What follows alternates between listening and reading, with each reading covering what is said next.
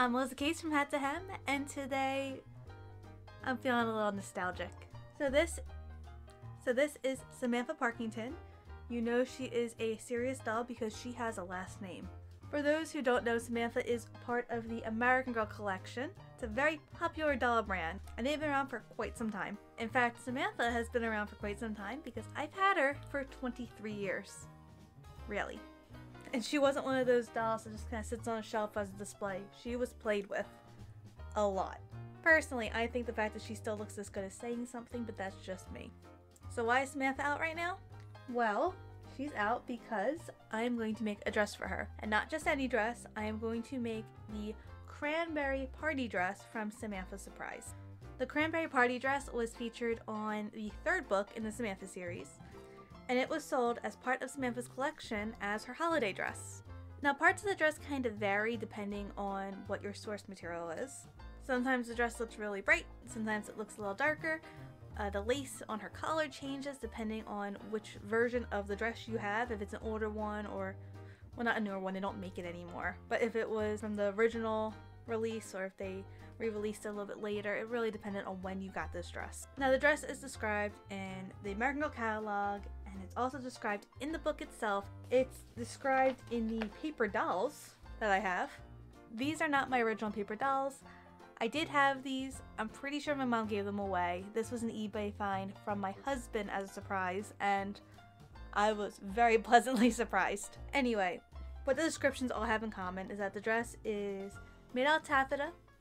It has a white collar. In the paper dolls, it says it's a taffeta collar, but everywhere else it says it's lace. It also has a wide white ribbon around her waist, a fluffy white bow, and she wears it with white stockings and black shoes. Now here's the part that's extra exciting for me. The original doll dress patterns that they sold in the 90s. I am so excited to share this pattern with you. But first, I need to pause so I can tell you about this video's sponsor, Ana Luisa Jewelry.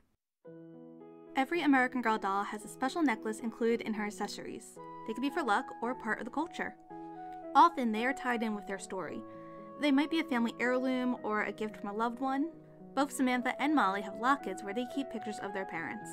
These pieces of jewelry were a key part of these girls' stories, and now you can add jewelry to your story with Ana Luisa Jewelry. They offer high quality pieces at affordable prices because there are no luxury markups. Their designs are as unique as you are and are purposely designed to make you feel both empowered and elegant. They have a range of styles that can be mixed or matched. I personally like my pieces to match, so I love that I can usually pair pieces together easily. They are also dedicated to sustainability. They are carbon neutral and are a certified climate neutral company. They use recycled, reclaimed, and upcycled materials, and their diamonds are lab grown. Even their packaging is made from recycled materials, from their boxes to their jewelry cards. They truly believe that high quality jewelry shouldn't cost the planet. You can learn more on their About Us pages on their website. A beautiful thing about new jewelry is that you add the significance to the pieces. I gifted my younger cousins matching Elise necklaces, so the three of us have something to symbolize our bond. My husband bought me the willow necklace last year for Valentine's Day, and I think of him every time I wear it. You can also find something that symbolizes other hopes and interests. Some pieces can even call back to your favorite American Girl doll. The Lev heart necklace reminds me of Kirsten's amber heart, and the Rebecca pendant instantly made me think of Josefina's garnet pendant, which has always been my favorite. You can also layer the necklaces, bracelets, and rings to fully represent who you are. If you click on the link in the description, you can get buy one get one 40% off while supplies last. Visit Ana Luisa Jewelry and start adding to your story today. I wanted to take some time and show you what's actually involved with this little pattern set. This particular one obviously is for Samantha, which you can see from her little portrait at the top. These patterns were part of their pastimes. In the 90s, Pleasant Company released uh, different pastimes for each American Girl doll. These included cookbooks, craft books, theater kits. I believe the paper dolls were also included in that. I believe they also sold little kits so you could do actual crafts and they provided materials. And obviously, they also had doll patterns. I believe they had these for the first six dolls they released. So, in chronological order, that would be Felicity, Josefina, Kirsten, Addie, Samantha, and Molly. So obviously the patterns would be specific for each girl, but I thought I would take you through what's included with the Samantha one. So they're all tied with a nice little bow.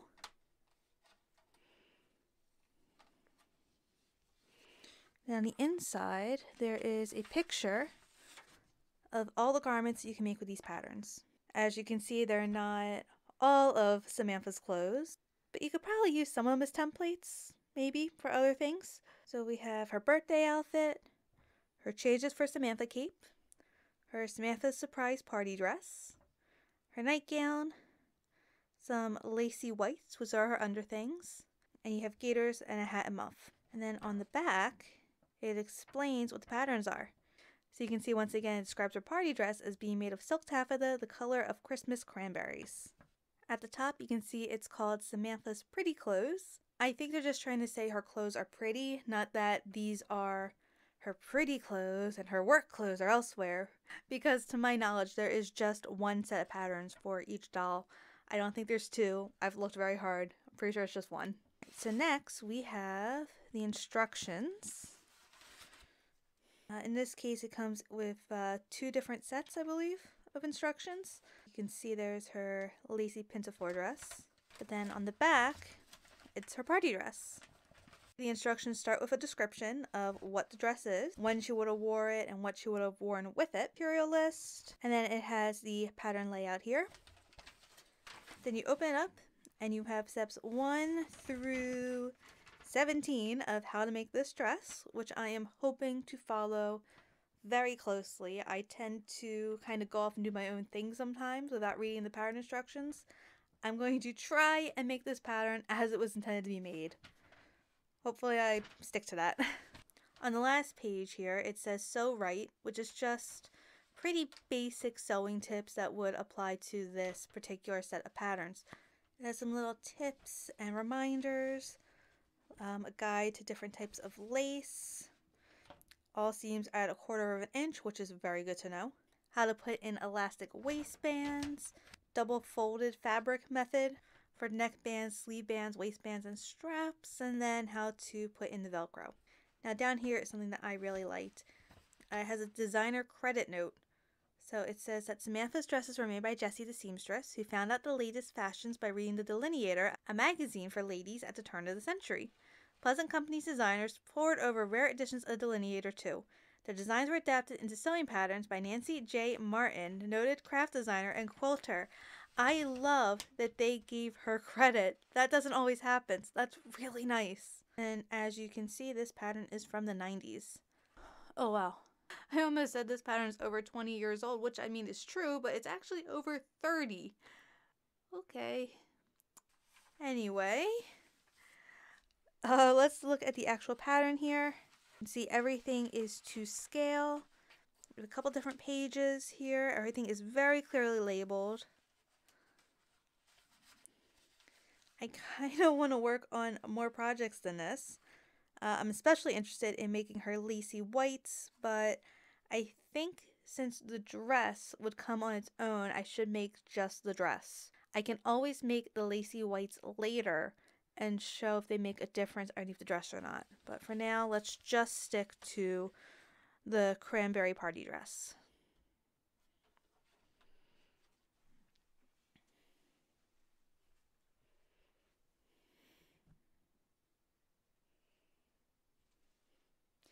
This is editing Melissa here. At this point, I opened all my different packages and showed off my taffeta fabric and I showed off my lace and I had a lot of fun with it. However, that footage ended up not transferring property and it's not usable. I am so sorry, so let's just move right into getting this pattern ready to use.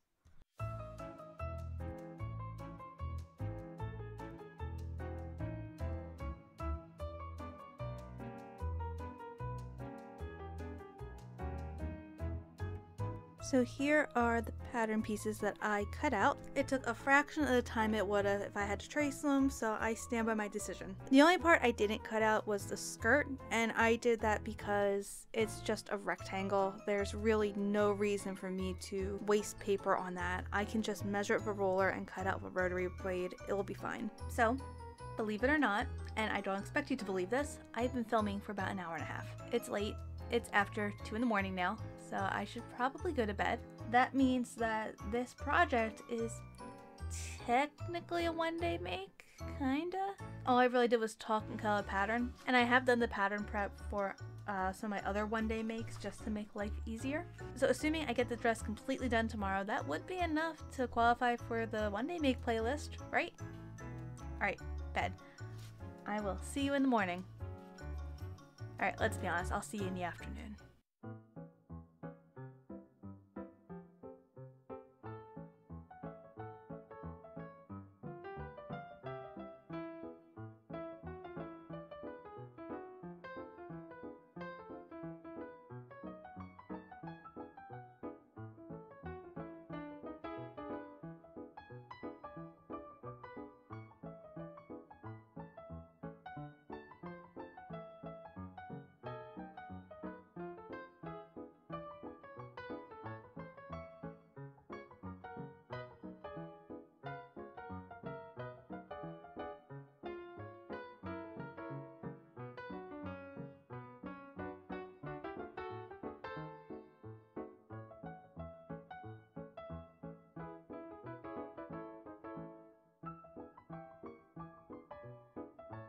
Alright, so I have all of the taffeta cut out. There is a couple of lace pieces I haven't cut out yet. I'm going to do that when I get to them. I did deviate from the pattern a little bit here because I also chose to cut out some lace pieces for the back. It wasn't in the pattern, but it is in the illustration. I think it would be nice to include it. Alright, so getting all this cut out was actually step one. Step two is to base these lace pieces to the bodice. And step three is to attach the bodice pieces to the shoulders. So I'm going to do that now. And then I guess we'll just take it one step at a time from step 4 to step 17.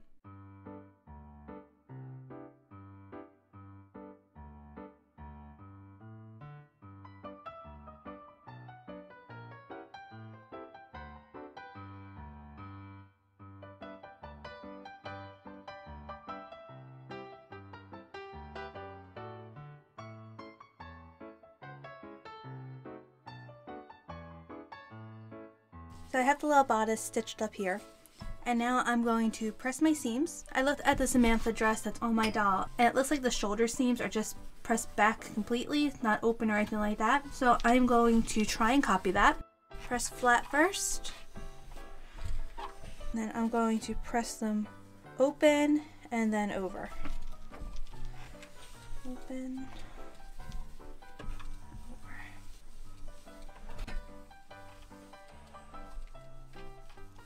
One more thing, the seams on the Samantha dress are actually serged, which I get. That seems like a lot less trouble than trying to do French seams or anything like that. I was debating on if I wanted to go a little fancier, but serger might be the way to go. The only problem is I don't have this color thread for my serger. I think I will use a darker color instead. That way, if it's kind of just peeks out, it'll blend in a little bit more than if it's bright red. So, I guess I better set my serger up. So the next step is to attach the neckband. So first I cut out a little piece of lace. I basted it to the bottom of the neckband. I double fold the neckband, first pressing it in half and then bringing the edges to meet the crease on the inside. And now I'm clipping it onto the bodice. I threaded my machine with white thread. The idea is that hopefully it will blend into the lace. You can't quite see it, but I have that nice burgundy thread in the bobbin. So it should blend in with the taffeta on the backside. We'll see. Alright, so the collar fits perfectly, but but the little valley for the scallop is right underneath her chin, and I'm not sure I like how that looks. This is gonna take a little bit of extra time, but I think I'm going to just cut out a little piece of lace and just sew it right in this spot. It feels like such a small thing to worry about, but but at the same time I waited over 20 years for this dress, so I think I'll just cut out the little piece of lace.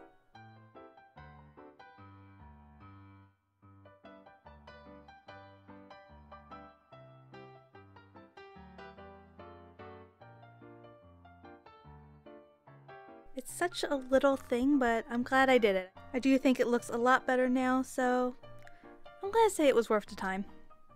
So step 5 called for gathering stitches being run along the bottom and the top of the sleeves. And I figured while my machine was set to gather, I might as well run the gathering stitches for the skirt as well. And I figured since I have this piece out, I might as well serge the bottom.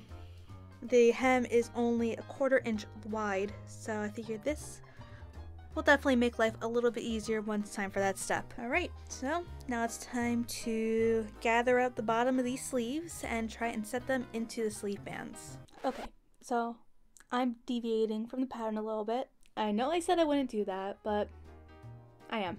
I figured I already did with the lace on the back pieces, so what's a little more?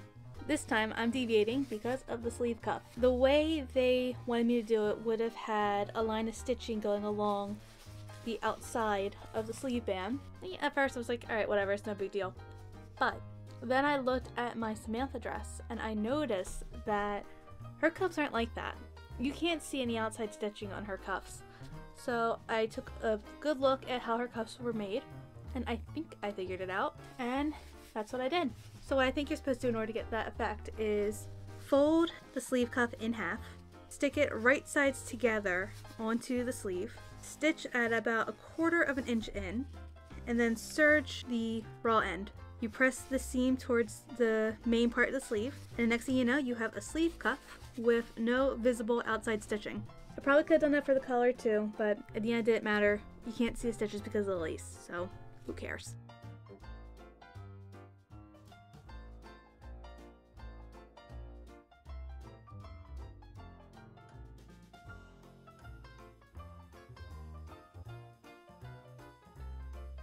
I clipped the edge of the sleeve to the armhole, working from the outside in. I stitched down the seam at a quarter of an inch seam allowance. The velcro took a little bit of time to figure out. I actually didn't even bother reading the instructions. I just looked at my Samantha dress and I copied what they did. And then I stitched from just above the velcro all the way around and down to the waistline.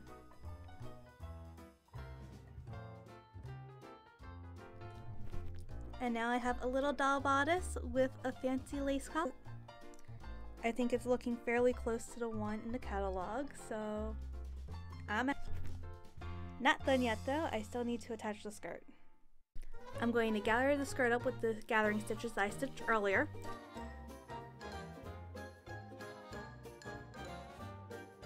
And then I am going to attach it to the waistband. I'm going to take a piece of my ribbon and I'm going to sew it on right above the seam line on the outside of the dress. The instructions say to only stitch it along the lower edge of the ribbon, so that's what I'm going to do.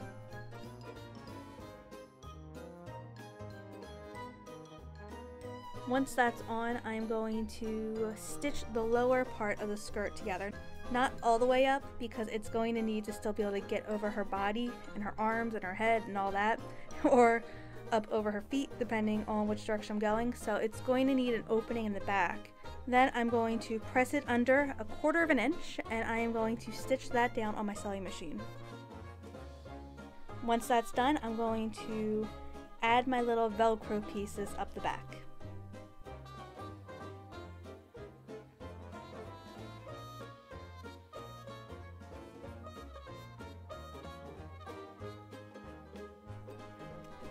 And with that, the dress is done.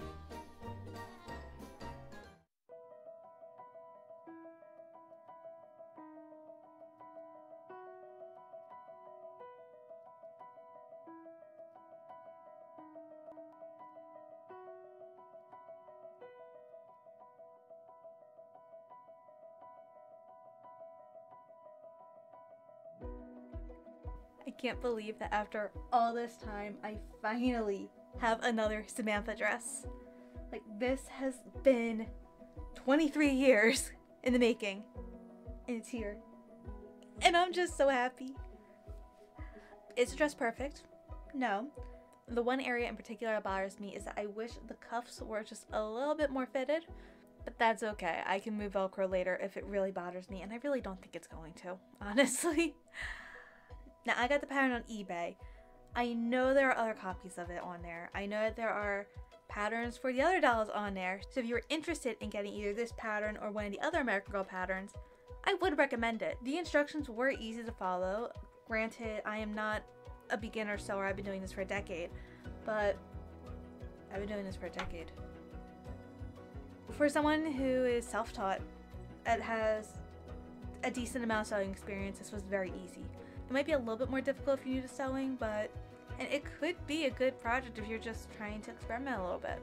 But if you know your way around a pattern and you're not afraid of doing little finicky work here and there, you should be fine with this pattern. I just, I keep looking at it and smiling. if you'd be interested in any other American Girl content, let me know in the comments below. Let me know if there's anything particular you'd like to see or any particular doll you love. Let me know if you like this dress. Let me know if you're following along with my uh, Ultimate Samantha dress bracket that I had going on in my Instagram stories. I am planning on doing more Ultimate Doll dress brackets in the future. In the future sounds very far away. I'm actually starting my next one on Monday. So if you're interested in voting on what your favorite American Girl dress is for each doll, then please follow me on Instagram so you can take part in that poll. I think I have 16 dresses lined up for the next one that you can vote on which will be played over a few rounds for pretty much all of next week. I almost feel like she needs a necklace or something. But you know where you get a necklace? Ana Luisa Jewelry. Link is in my description below.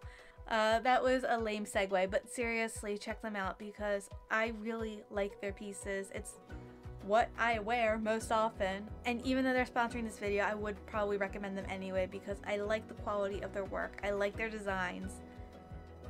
And that make me happy. anyway, I am so happy right now. I I hope you enjoyed watching this video as much as I enjoyed making it. Thank you so much to my patrons for making this video possible. And thank you to you for watching this video. I really hope you have a wonderful rest of your day and I will see you next time. Bye!